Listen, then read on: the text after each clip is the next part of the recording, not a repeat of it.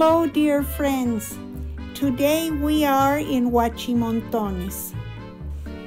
Guachimontones is the name of an old pre Hispanic settlement located in the city and municipality of Teuchitlan, approximately one hour west of Guadalajara. Phil Weigand, an American archaeologist, historian, and anthropologist, discovered this site. He dedicated himself for 30 years to study it. Weigand, together with his wife Acelia Garcia, rewrote the history of Western Mexico. This site's discovery was a turning point to the idea that no great civilization had developed in the western part of Mexico, comprising the states of Jalisco, Colima, Michoacán, Nayarit, part of Guerrero, Sinaloa, and Zacatecas. This area had no evidence of pyramids or monumental structures, such as the central or the southern part of Mexico, or even in other parts of Mesoamerica, thus believing that the western part was a retarded culture. Compared to all the investigations that had been taken place in other parts of Mesoamerica, this area created very little interest among the investigators due to the absence of large pyramids.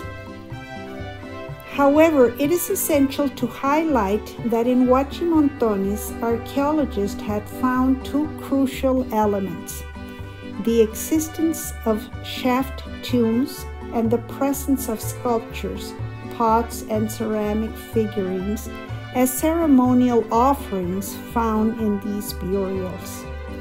Highly priced in the national and international black market. These pieces for collectors increased during the 40s, and the sacking also grew, consequently, destroying important sites and fundamental data. It wasn't easy to interpret the history and the cultural evolution of these people with a few rescued pieces. This settlement represents the leading site of the Teuchitlan tradition, the nuclear area located around the Tequila volcano from 300 BC to 400 AD. Its ceremonial center includes several constructions with a peculiar architectural style, including several conical structures.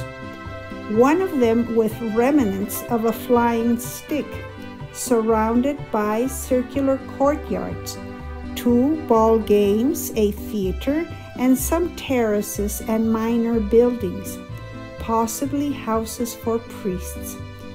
Given its large size is currently being explored and requires long-term research. All the formal investigations from the archaeological perspective in the Teuchitlan Etzatlan area and the Tequila volcano were scarce. By fortuitous incidents, the discoveries happened. At the beginning of the 50s, a farmer working at the Hacienda of San Sebastian in the municipality of Arenal lost his plow into a hole. The hole turned to be a shaft tomb with this landmark event. But the archaeologists arrived at the tomb, it had already been sacked. However, they mapped the type of architecture.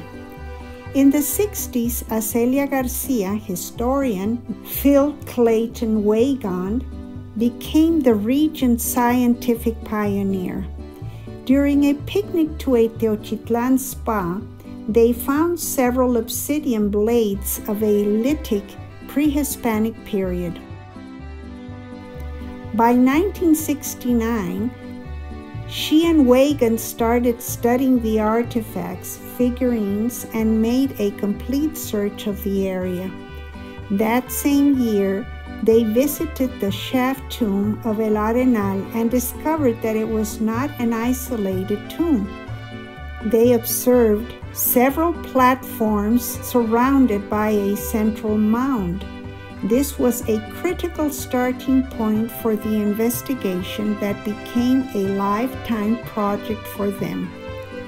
By the 70s, after several investigation seasons, Weigand revealed the Magdalena Ameca Etzatlan Basin's discovery on the Tequila Volcano Basin.